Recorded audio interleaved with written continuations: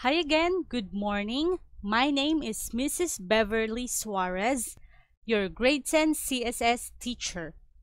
So for this lesson, we are going to discuss the basic concepts in CSS. This is still under personal entrepreneurial competencies.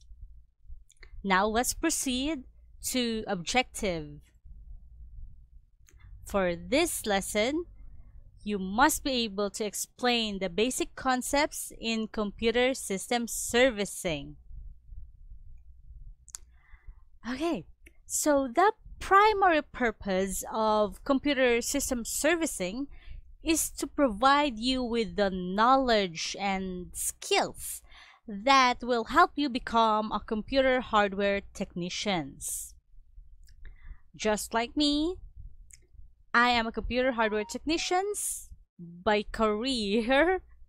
Also, I enjoy other kinds of career, but I wanted to explore more on the computer systems because I wanted to do my own maintenance of my computer system. That's why I am very much inclined with this one. Okay, so up next is a short video about what a computer is.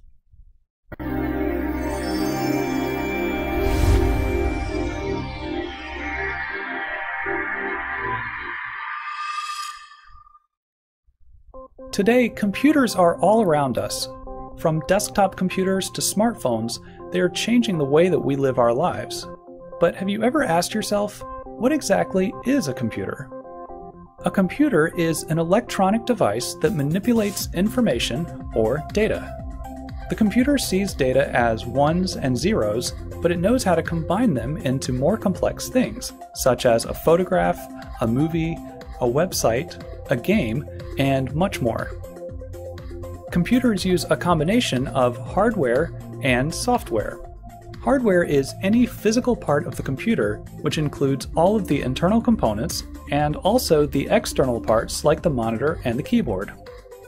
Software is any set of instructions that tells the hardware what to do, such as a web browser, media player, or word processor. Now, when most people say computer, they're talking about a personal computer. This can be a desktop computer or a laptop computer, which has basically the same capabilities but in a more portable package. Personal computers come in two main styles PC and Mac. PCs are the most common type. There are many different companies that make them, and they usually come with the Microsoft Windows operating system. Macs, or Macintosh computers, are all made by one company, Apple, and they come with the Mac OS X operating system. Computers come in many other shapes and sizes. Mobile phones, tablets, game consoles, and even TVs have built in computers, although they may not do everything a desktop or a laptop can. There's another type of computer that plays an important role in our lives servers. A server serves information to other computers on a network, in fact, every time you use the internet, web servers deliver the web pages that you want to see to your computer. Servers are also used in many offices to store and share files. As you can see, there are many different types of computers out there, and they affect our lives in a variety of ways. Okay. So, maraming klase ng computer. Hindi lang yung mga alam natin na desktop or laptops. Marami pang iba, including smartwatches. Okay, so may computer din yan, pero limited features or capabilities. Okay, now let's move on to the IPO. IPO stands for Input Process Output. So, a computer system consists of a set of electronic and electromechanical components on which these are able to accept some form of input, process this input in a way that can be specified by means of a set of instructions, and procedure some type of output or produce some type of output I mean. So all computers follow the same fundamental sequence. First is the input where they accept the instructions and data. Second is the process where the data is being processed according to the set of instructions. And third is the output where the computer produces results in a form of an information or an action and it represents the output. Moving on, a computer system comprises of both hardware and software. Okay, so let's focus first on the hardware part. Hardware represents the electronic circuits and or electromechanical components from which the computer is constructed. Kaya nga sa motherboard, ang daming circuits, di ba? Okay, ganun din sa mga hard disk and everything inside a computer system is electronic. Okay? Now, the basics or the basic computer consists of the following devices. Syempre, hindi mo lang kailangan ng system unit. Kailangan mo syempre ng keyboard and mouse and display, which is obviously your monitor, para pwede ka mag makipag-interact with your computer. In this respect, we provide input to the machine via keyboard, kung sa tayo nagta-type, nagkaka-accept siya ng input ng mga characters na tinatype natin sa keyboard. Same thing with the mouse, kung saan nakaka-accept siya ng movements para sa ating mouse. And we can observe the results of the computational process by means of display screen. So, kung ano yung nakikita mo sa screen mo after mo mag-type, after mo mag-point something on the mouse, yun na yung output mo. Okay? So, yan. So, marami pang klase ng mga peripherals. Okay? But we'll talk about that later. So, the central processing unit. Okay, ito common to na mistake sa mga students. Ma'am, bubuhatin ko po ba yung CPU? Okay. Ma'am, pupunasan po ba yung CPU? Ma'am, ang bigat po ng CPU, saan ko po ito ilalagay? Okay, so guys, ang CPU, which stands for Central Processing Unit, ay yung processor mo, yung maliit na chip underneath the heatsink na nasa motherboard mo, okay? Yung sinasabi yung mabigat na casing, yan ay system unit or SU. So, don't be confused. CPU, hindi. Kasi yun yung processor, yung chip niya. System unit, yung kanyang casing. Okay, so as we all know, CPU, which is able to follow or execute a series of instructions and controls most of the activities that take place within the machine. Siyempre, pag mataas ang CPU mo, expect na mo na maganda ang machine mo. Okay, kasi mas mahal siya, obviously. Ano, ano ba yung mga klase ng CPUs natin ngayon? Dalawa ang manufacturer niyan. Isang Intel and isang AMD. Ang Intel, ito yung mga nakikita nyong usahan natin sa Pentium, okay? Ah, Ato, Intel Atom, Intel Celeron, Pentium 4, Pentium Dual Core, Octa-core, i3, i5, i7, i9. Okay, yun po yung mga Intel-based. Ngayon, ang AMD naman, isa tong klase ng manufacturer ng CPU kung saan ang mga pangalan nila ay AMD Athlon, Xenon, uh, ano pa ba yung isa? Radeon, ay, de, de, iba pala. Okay? So, the, I forgot about the names. Okay? So, yan, AMD and Intel. Ngayon, ano pinagkaiba ng dalawa? Una-una, branding. Sila lang ang taming, tanging nag, nagmamanufacture ng CPU. Okay? Ngayon, ang Intel, more on, actually, pwede naman ang Intel sa gaming eh. Kaya naman na niya. Nagtatapatan lang tong dalawang to eh. Ngayon, si Intel, pwede siya pang mga video editing, work, work-related applications, mga ganyan. Pwede rin gaming. Ang AMD, natural siya na pang gaming talaga. Okay, so yon Kasi karamihan ng mga AM AMD CPUs ngayon ay may integrated GPU or graphics, integrated graphics, yung Vega, Vega graphics, para hindi mo na kailangan bumili ng separate na video card. Okay, so yan. Mahal po ang CPU, okay? Depende sa kung gaano siya kataas yung level niya. Okay. Now, let's move on to the memory devices. A collection of memory devices able to store instructions and data during operation of computer. Okay, RAM.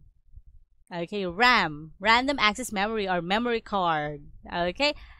So, syempre, hindi gagana ang computer pag wala siyang RAM. Ang mga RAM ngayon, nasa DDR4, mga ganyan. 4 gigs of RAM, 8 gigs of RAM. Kung malupit yung computer mo at maganda yung motherboard mo talaga, okay guys, kailangan nyo muna, bago kayo bumili ng mga components, make sure compatible siya sa motherboard mo. Okay, ngayon, pwede yung umabot ng 16 gigabytes of RAM. Depende, no? So, yan. Uh, next is storage devices. Various storage devices able to store instructions and data even when the computer is turned off. Kagaya na lang ng hard disk. Okay, ang HDD na tumatakbo ng 500 gigabytes, 1 terabytes, 2 terabytes. May mga HDD and CCTVs, kaya niya hanggang 4 gigabytes, 8 gigabytes. Ganyan. Meron din namang SSD, yung solid state drive. Ito ay mas manipis. Ito yung nilalagay sa mga laptop. May ganun din yung storage capacity. Mga 1 terabytes, 500 gig, ganyan. Okay, meron namang hybrid. SHDD. Solid Hard Disk Drive. Okay. So, ano siya? Uh, hybrid siya ng SSD at HDD. Okay. Ano kinaiba nung dalawang to? Ay, okay. Bago pa ako magpunta doon sa kainaba, may isa pa. M.2 Maliit lang siya, na mukha siyang memory card, pero yung gold plating niya wala dito, nasa dulo. Okay, parang pa ganyan siya. Storage device din yan. Okay, actually, kung ayaw mo na ng mga hard disk kasi more on cables, alam niyo naman pag maraming cables sa system unit, mas mainit siya. Okay, no? So, nililess natin ang cables. Ayan, kung, kaya, kung meron namang M.2 feature ang inyong motherboard, pwede yun. No, mas mahal nga lang yun kasi yun ang mas bago talaga eh. Okay, so anong kaibahan ng uh, ah, SSD at HDD. Ang HDD, platters yan. Hmm, kahit 2, sabihin mo ng 2.5, manipis lang siya, pero platters mabigat, metal kasi. May metal sa, may plates siya sa loob. Ngayon, dito mo ini-store yung operating system at lahat ng files na meron ka, na gusto mo i-save, no? Okay, um, ang SDD, solid state na siya, chip siya sa loob, malaking chip, parang flash drive ganun. And mas mabilis magbasa ang reading and writing ni SSD kaysa HDD. Ang kinaibahan pagdating sa syempre performance, mas mabilis, mas maganda, 'di ba? Kaso nga lang si HDD pag malapit na siyang bumigay, naglalabas siya ng mga blue screen. Okay, blue screen of death, yung mga ganyan si SDD, pag malapit na siyang bumigay, wala siyang nilalabas na symptoms. Okay, so yon So, it's up to you. It's up to your budget. Pwede kang mag-combine. Actually, pwede kang mag-combine. May HDD ka, may SDD ka pa. Pwede yon Marami ako nakikita ng gano'n. Or may HDD ka, may M.2 ka. Ang M.2, bago siya for us in the Philippines, pero abroad, in the US, common na rin yon pero pwede, ma- masyado kasi siya mahal eh. O, ganun naman yung pagbago mo siya. Pag ano, uh, medyo bago pa, mahal talaga, no? So, di hamak na mas maganda ang capacity. Uh, same ng storage capacity, pero mas maganda ang performance ng M.2. Okay. So, ayan. Yan yung mga storage devices. Mama, kaklasify ba ng storage devices ang mga flash drives? Okay. It's a pa po. Utang na loob. Huwag naman po kayo magsabi ng Ma'am, may USB ka po? Ma'am, magdadala po ba ng USB? Nako po, ito, yung mga ganyan, hindi USB ang tawag dyan. Okay? Flash drive. Okay? Kaya please, your terminologies, pakiayos dahil grades na kayo. At don't expect na yung iba alam yan. So, maganda na sa inyo mismo manggaling yung mga ganyang bagay. Na bro, hindi yan USB flash drive yan. Okay, now let's move on to the PC itself, personal computer. The most common form of computer in use today.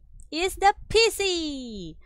This was the name given to a computer configuration that evolved where during the 1970s and which is a desktop machine. Ito, napaka-lolong-lolo na to.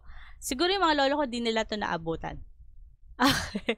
Pero I think when I was in elementary, meron akong ganitong, yung base type, base kasi yan eh. Yung mga nakababa. Pero ang liit naman na monitor nito. Dati mga CRT, ang lalaki ng monitor, bibigat.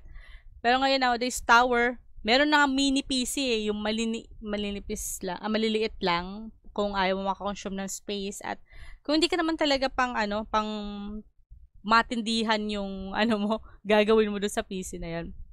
Okay, so yan, PC. Next is the software. Computer hardware is in itself unable to perform any useful task. It must be provi- pro- provided with detailed and unambiguous instructions indicating exactly what actions are to be taken. Software is a term that is used when referring to programs in a general way and encompasses instructions that are to be acted upon by a computer and the data that may be needed by these instructions. Okay, so lahat na ng klase ng programs na alam nyo, pati yung mga pang-gaming programs na alam nyo, okay, mga Microsoft Office, web browsers, mga pang-streaming like Spotify, okay, Netflix, pang-editing like Photoshop, Filmora, mga ganyan. So, ayan, mga softwares po yan.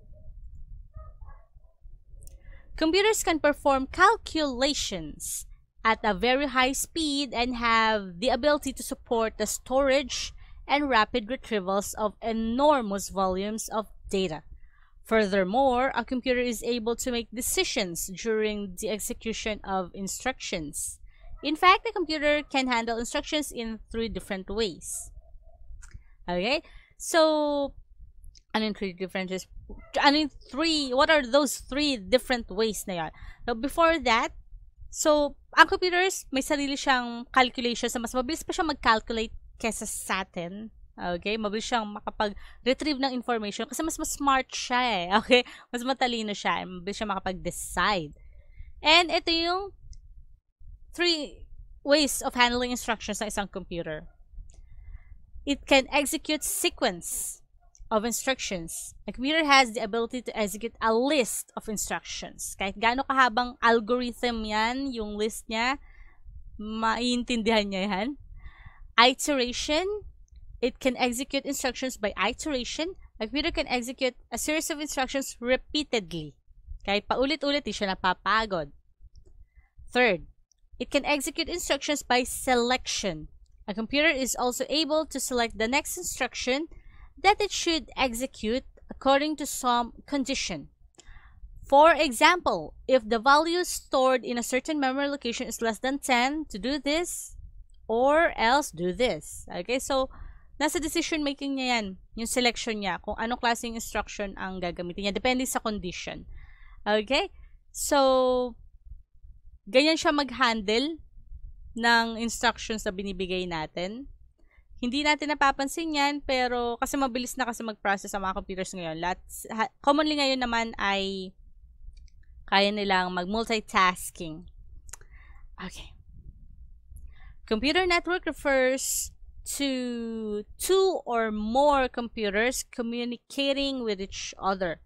Networks can be classified by several methods, which include the technology used and the network size. The following are the criteria used when networks are classified by size or physical area they cover. So, sa networking, syempre, isi, pinakamagandang representation na dito ang computer laboratories. Maraming computers, may server, may host PC. Sa computer shop, maraming computers, may host PC or yung server. So, ayan, network yan. So, I have here a short video about the different types of computer networks.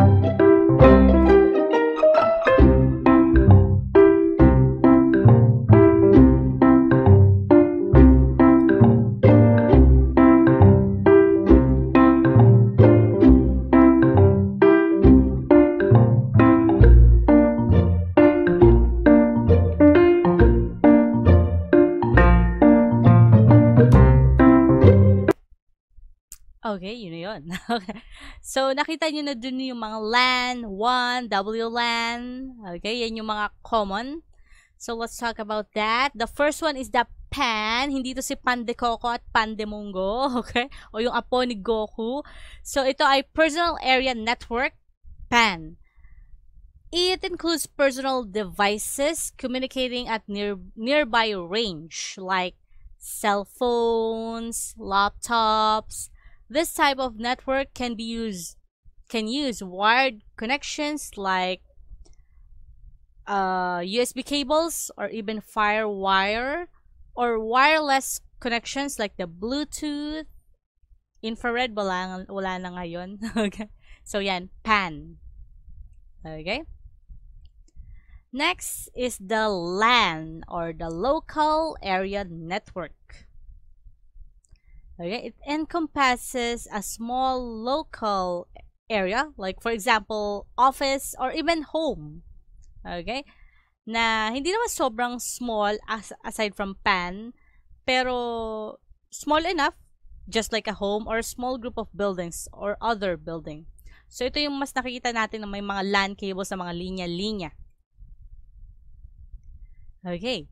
WLAN or the wireless LAN.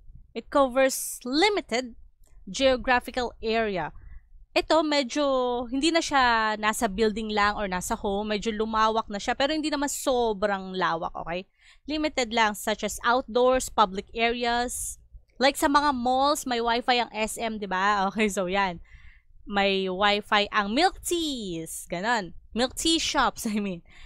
Also, in homes that are not wired for networks, yung may mga Wi-Fi, considered na rin yan. No? Considered na rin. Uh, so, ayun. Medyo malaki siya. Wireless LAN. Actually, LAN to na may wireless feature. Okay, so yan. Wi-Fi. Up next is the MAN or the Metropolitan Area Network. It, it encompasses a large campus or city. Ken or campus Ken, okay? Campus area network yan or campus area network refers to a small MAN, wireless LTE or WiMAX or wired Ethernet with fiber optic cabling. So, pwede to uh, in a city, ganyan. O kaya sa mga schools, campus, universities, okay? So, yan metropolitan. Sa city kasi malaki na yun, di ba? So, ayun. Man. Okay, pwede siyang wireless. LTE, maganda ang version ng LTE. Sa mga SIM cards, ganun naman talaga ngayon para maganda yung takbo ng data mo.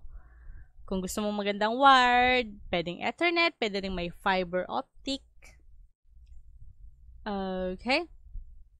Next one is the WAN or the Wide Area Network. It covers a large geographical area and is made up of many smaller networks. Its best known one is the the best known one is the internet. Some techno technologies used to connect a single computer or LAN to the internet includes DSL, cable internet, cellular, one or fiber optic. So ito, a uh, very large geographic geographical area na to. Like, capital na yata to or bansa. Okay, halimbawa na lang Singapore. Ayan.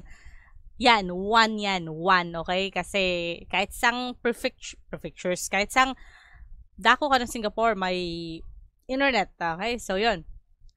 So, small networks combined together to provide a very big or wide, wide area network. So, pwedeng ang connection nila ay mga DSL o kaya cable. Alam niyo sa cable, yung mga signal cable. Okay? May uh, ah, not, that, not the signal kasi I think wala pa silang internet connection but the sky cable. Meron na silang bundle ng may internet. Okay, pwede rin namang cellular, yung mga data-data, pwede rin namang fiber optic. Okay? So that is all for today for the whole topic which took so long. okay, medyo technical tong topic to. So thank you very much and I hope to see you again next time. Bye!